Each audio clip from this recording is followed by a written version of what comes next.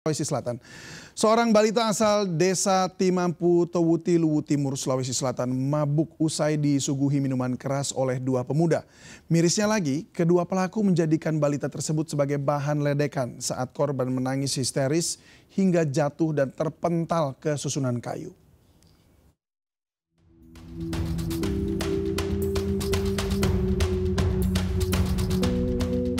Seorang balita ini dicekoki minuman keras oleh dua orang pemuda di Desa Timampu, Kecamatan Towuti, Kabupaten Luwu Timur, Sulawesi Selatan. Sebanyak tiga kali, sang balita menenggak miras. Ironisnya, kedua pelaku menjadikannya sebagai bahan tertawaan. Setelah berulang kali menenggak miras, bocah malang ini langsung mabuk hingga terjatuh. Bahkan ia berjalan sempoyongan sambil menangis histeris. Diduga sang balita dicekoki minuman keras jenis anggur.